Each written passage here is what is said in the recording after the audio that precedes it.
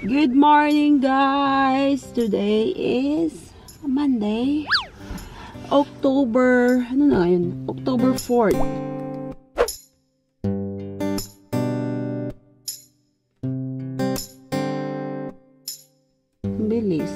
October na tayo guys. Ang aga namin, nandito kami sa may Costco. Hindi ito yung Costco na pinupuntahan ko. Ibang Costco to. Hindi nyo makita, but ayan siya. Hindi pa sila open kasi ano pa lang naman dito guys. I think magna 9 pa. Hala! May, may bilhin ako sa narada. Akala ko na iwan yung sir. Yeah, 850, 851 pa. Ayan. Pumunta kami dito kasi magpapa-change tire. Tapos, actually, ewan ko kung yung apat ba na gulong yung ipapa-change niya. Siguro lahat nga. And then, pag mag-open na to, din punta tayo kasi mag-grocery din kami. Anyway, pasensya na sa aking mukha kasi ginising lang talaga ako ni Ga Gariot. Sabi niya, ano, sasama ka ba o hindi?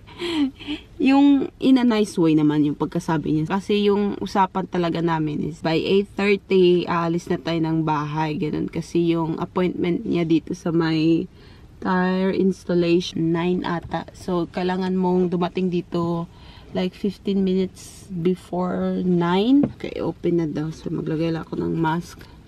Ayoko sanang sumama kasi inaantok pa ako. Pero kahapon, nagsabi ako sa kanya na okay, sasama ako. Pero, yun nga, inaantok pa nga ako. Sabi niya, sama ka. Para daw ako mang grocery. O, di ba ang galing? Nandito na ako sa loob, guys.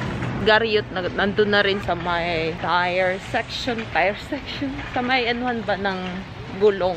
Mag-start ako tapos hahabol siya. So, kailangan ko to. Kasi yung amin, isa na lang yung natira. And then, ginagawa namin is, ano siya, tuna salad. No, not tuna salad. Tuna sandwich. Meron silang corn beef dito. Gusto ko sana to i-try, pero hindi kasi ako sure kung masarap pa yan. May listahan naman ako dito, pero nasa cellphone. Ito yung ayaw ko pag hindi ako sanay sa... Kasi sanay ako dun sa ibang Costco eh, dun sa kabila. Pag hindi ako sanay sa sa Costco, hindi ko alam kung saan-saan yung mga bagay-bagay nilalagay. Kaya kailangan ko talagang hanapin. Ngayon, kailangan ko ng rice. Hindi siya nakasale. Sana pala binili ko siya nung nakasale. Sigariot na lang yung pa pakuhanin ko ng rice, guys, kasi mabigat man yun. So, babalikan na lang natin yun. Madami-dami na, guys. Nandiyan na rin yung ating rice. Sigariot, naglakad-lakad lang. Baka daw meron siyang magustuhan kaya. Pero nasa akin yung cart kasi minsan naiinis ako yung bigat-bigat tapos wala sa akin yung cart ay hinahanap ko ay yung coke na nasa bote. Hmm. ano mo di sila oh. balik nga taan na lettuce na di ko ganahan ala tingnan mo bes. Kaya ayaw ni Gariot na pasamahin ako dito. Kasi ang dami ko daw, ang dami ko daw tinuturo. Ito, ilalagay namin to sa may dining kasi matagal na namin yung gustong palitan. Pasko na yarn. Pasko na best. Malapit na talagang Pasko. Ayun na yung Christmas tree na ano lang, lights. Ito yung sinad ni Angelo.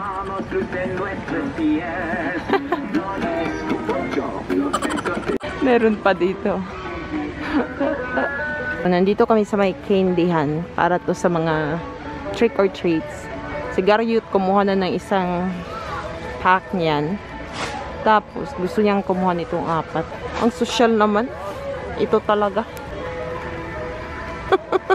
Diyos ko, kaya pa ba te? Yan yung palagi kong binabalik-balikan dito guys. Gusto ko yan. Gusto ko yung pa-pearl niya. I love, I like that. Oh. that thing, that pearl, Yeah. ring of pearl. Yeah. Tapos na kaming mang grocery guys, pero iniintay lang namin yung tawag galing sa may anuhan ng gulong kasi hindi pa sila tumawag eh. Hindi pa kami nakabayad sa mga groceries namin pero tapos na kaming mag magkuha ng mga bagay-bagay. Siya mga bagay-bagay. 2,000 years later. Nandito na pala kami sa bahay, guys. Ito, galing din tong Costco. Ito yung kinuha ko, pepperoni pizza, tapos kay Gariot, hotdog. Hindi ako masyado doon nag-vlog sa Costco kasi kasama ko siya eh. Nang iiwan yan pag nag-vlog ako. Pagkita niya itong camera ko, iniiwanan niya ako. Kaya din ako hindi masyado nag-vlog doon kasi mamaya aalis din ako. Pupunta siguro ako malapit sa may mall. Pupunta ako sa may DSW, um, I think Designer Shoes Warehouse ata pangalan niya.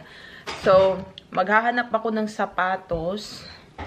Tapos, kung wala akong mahanap doon, so I think, didiretso ako ng mall. Baka doon ako maghanap. Mamaya pa naman yun. Kakain muna ako. Wala akong breakfast eh.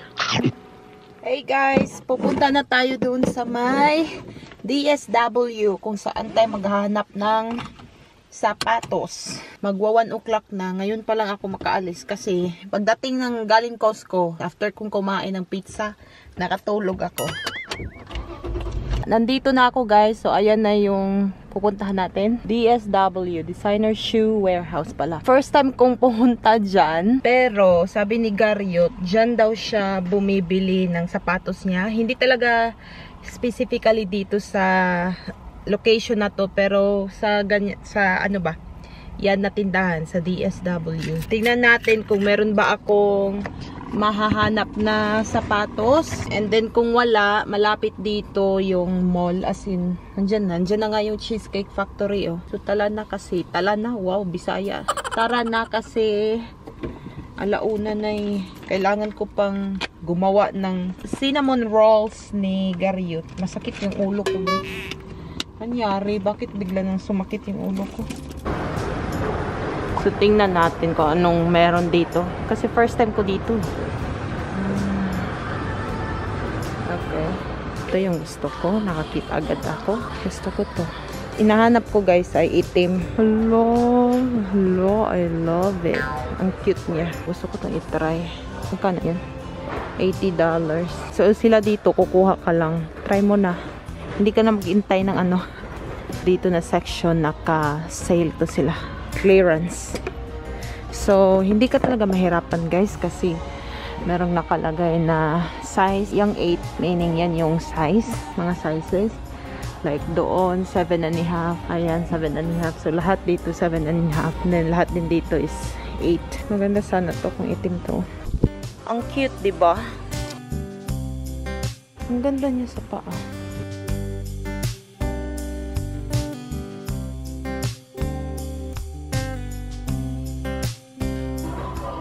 Nito, guys.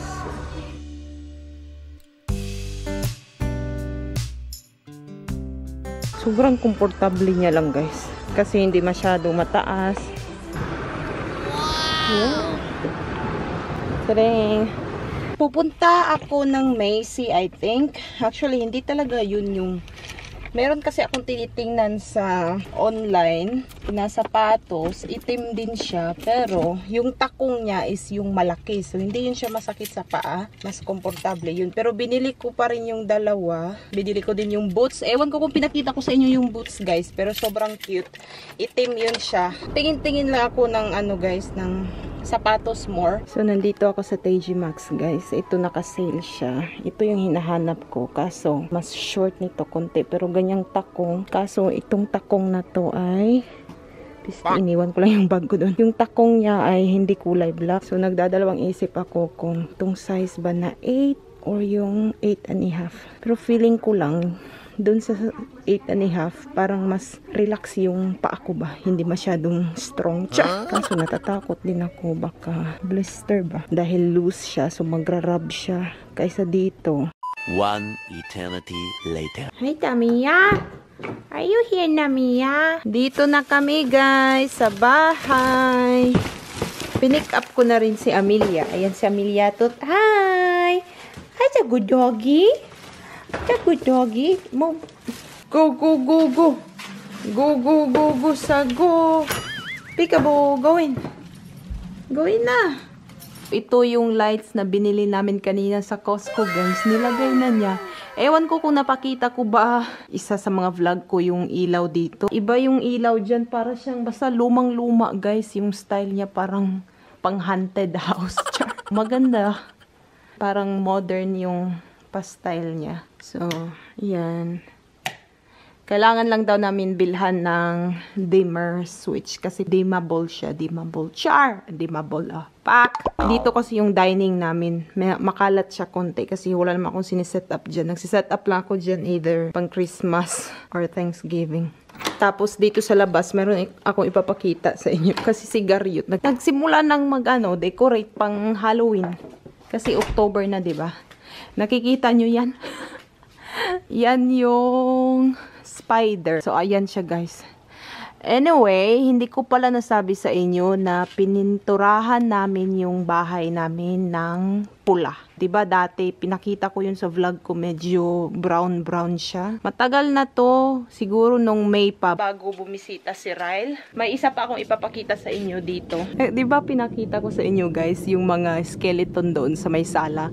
Nilagay niya yung isa diyan. Tingnan mo siya, sobrang lonely, parang naghihintay siya ng ano niya, kadate niya, o, di ba?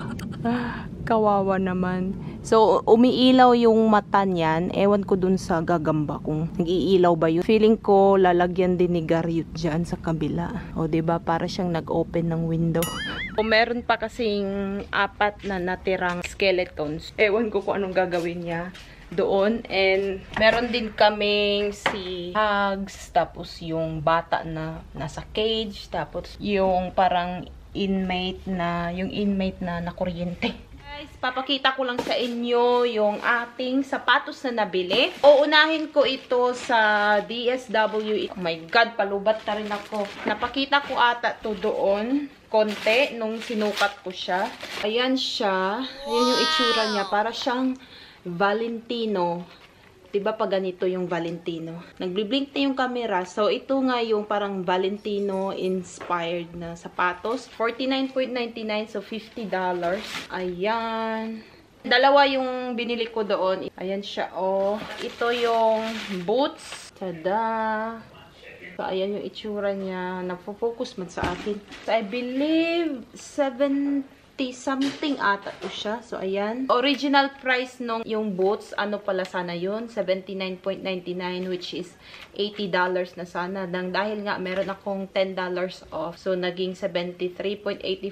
Tapos yung isa is 46.14 after ng $10 off. And then, pumunta nga ako doon sa my mall. Kasi nga, nag-check pa ako ng ibang tindahan. Pumunta ako sa Macy, pero meron akong nagustuhan doon. Kaso wala sila nung size ko. Ito, galing tong JC Penny. Ayan siya. Another pair of shoes. I wish black to. Oh, hindi kasi black. Yung gusto ko sana is black siya. Kaso, binili ko rin nang dahil naka-sale din siya. From $60 naging $39.99. Yun lang yung ating sapatos. Ayan yung paitsura niya. Meron sana akong nagustuhan sa Aldo. Kaso, wala naman sila dun sa store. Kailangan pang bilhin or i-order online. Kaso, mas mahal ngayon. Yun yung ating nabili ngayong araw na yun. Kakasimula pa lang ng October, nagwalwal na ako. Mga almost 200 hinatay. Ah, ano lang ako mag-exercise kasi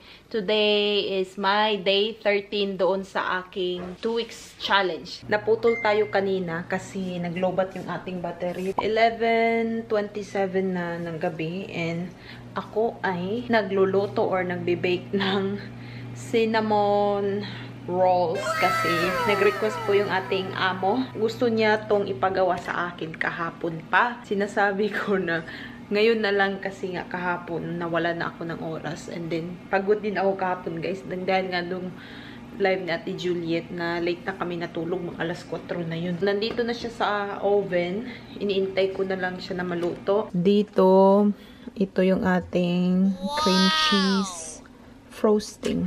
Ayan, gawa ko na siya. Ayan, kanina pa ako guys. Masakit na nga yung tikod ba na ako? Tikod. Akong tiil ba? Yung pa ako ba sa kakatayo. So, ayan yung ating cinnamon. Gusto pa naman ni Garyot sa cinnamon guys ay yung medyo hindi masyadong luto. Yung parang gooey-gooey siya ba? Yun yung gusto niya. Tapos na. Pero mag-add muna ako nun ng 5 more minutes siguro kasi puti pa siya eh. Hey Siri, set a timer for 5 minutes. Five minutes, starting now. Thank you. So, siya na yung palagayin ko nito guys bukas kasi matutunaw to pag ilagay ko ngayon kasi mainit yung cinnamon. Para talagang nag-aano sigaryot ay naglilihi. Naglilihi ata to. Oh, ayan na yung ating cream cheese, guys. Ayan na yung ating cinnamon rolls. O, diba? Sana hindi to nasubrahan ng luto kasi gaya nga ng sabi ko, gusto ni Garyot yung medyo gooey-gooey. Imbis na 20 minutes, nilagay ko siya ng 25 minutes. Normally, mga 22 to 23 minutes lang. Ready na to sa kanya bukas kasi maaga yun magigising. So, yung ginagawa niya guys, nilalagay niya lang to sa freezer. Pag gusto niyang kainin, um, ilalagay niya lang sa microwave. Kasi pag ihahayaan mo lang dito sa labas, mas ano kasi, mas mabilis siyang ma masira. I-end ko na itong vlog na to. 12.39 na dito guys. Kausap ko pa yung si Ate Juliet at saka si Angelo kasi kanina nga nag-text-text kami or nag-message-message kami na hindi pa ako tapos dun sa niluluto ko. Sana nag-enjoy kayo guys sa video na to and if you did, please don't forget to like and subscribe if you haven't already and I will see you guys on my next video. Bye! Good night!